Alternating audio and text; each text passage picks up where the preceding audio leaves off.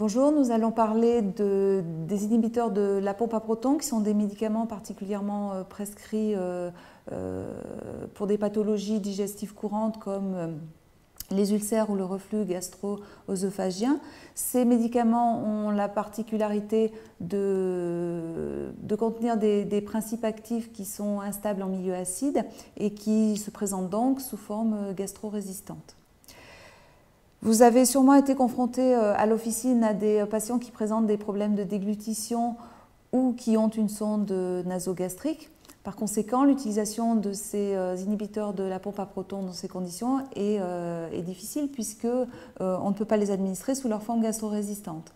Donc on va essayer de voir ce qu'il est possible de faire et surtout de ne pas faire avec ces produits-là dans ces conditions.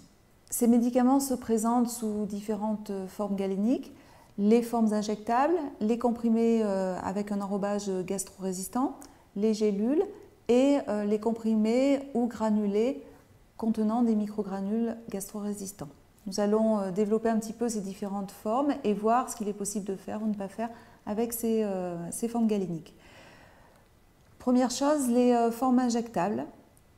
Alors, contrairement aux idées reçues euh, où certains se disent euh, il est possible de, mettre euh, un liquide, d'administrer un liquide par voie orale, donc là, bien évidemment, le, principe actif n'étant pas protégé, on n'administre pas une forme injectable par voie orale ni par sonde nasogastrique.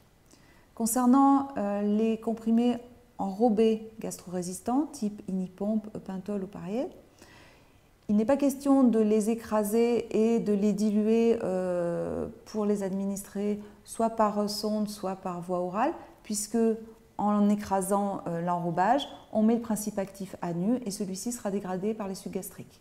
Pour ce qui est des gélules comme Mopral, Ogast, Lanzor ou Zoltom, euh, ce ne sont pas les gélules en elles-mêmes qui sont gastro-résistantes, mais les, les granules qui sont à l'intérieur de cette gélule. Donc aucun problème pour ouvrir ces gélules disperser les granules euh, dans un liquide. Euh, alors là, après, euh, c'est le choix du liquide qui est important. L'eau, c'est le mieux, mais on peut aussi choisir un liquide acide comme du jus de pomme, du jus d'orange ou du jus de tomate, qui vont en fait préserver l'enrobage gastro-résistant de ces microgranules, éviter tout ce qui est alcalin qui va le détruire.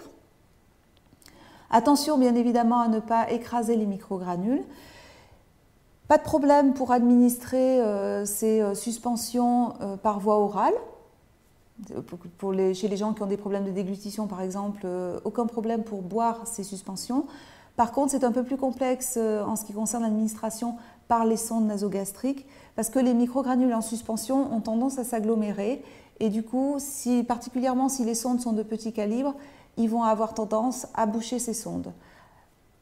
D'autant plus si les sondes sont de petit calibre, mais aussi si les microgranules sont, gros. Donc par exemple, le Mopral a de plus gros granules que le Lonzor et va avoir tendance à boucher beaucoup plus facilement ces sondes-là.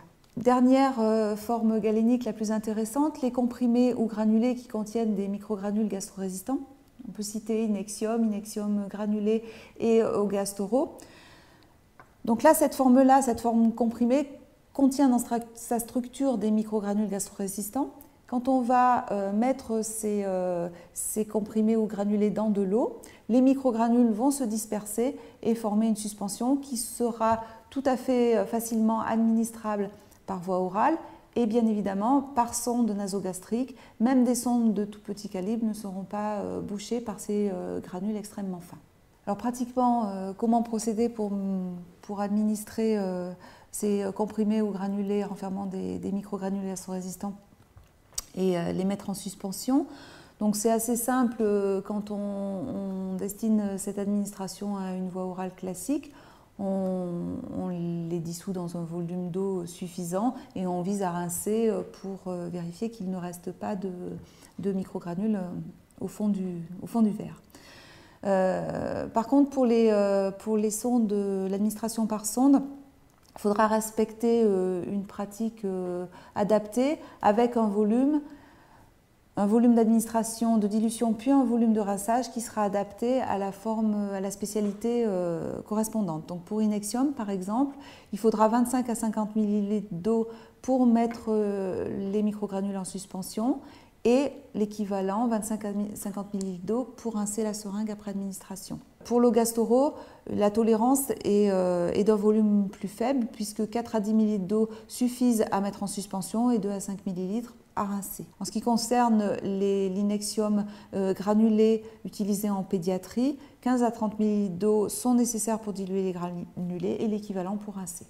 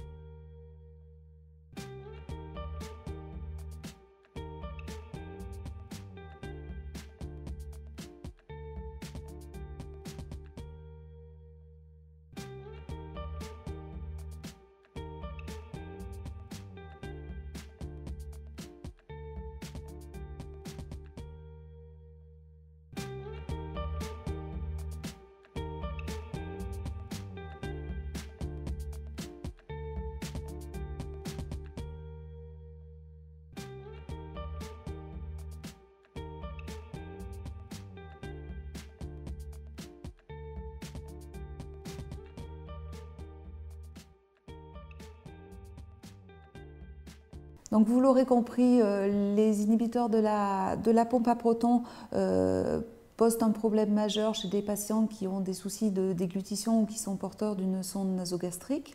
Le choix de la forme galénique euh, est capital à ce niveau et c'est là que le pharmacien d'officine a un rôle majeur puisqu'il peut intervenir dans le, choix de la forme galénique adaptée. De plus, il est très important qu'il puisse donner des conseils sur les modalités de l'administration de ces médicaments, que ce soit au patient ou à son entourage. Alors si l'on résume un petit peu ce qui a été dit précédemment, il faut privilégier pour les patients qui ont des problèmes de déglutition euh, les formes contenant des granules, soit les gélules, soit les comprimés, soit les granulés gastro-résistants. Euh, et pour les porteurs de sondes nasogastriques, alors là, on va vraiment s'orienter sur euh, Inexium ou Gastoro, qui contiennent des granules suffisamment petits pour ne pas boucher les sondes nasogastriques.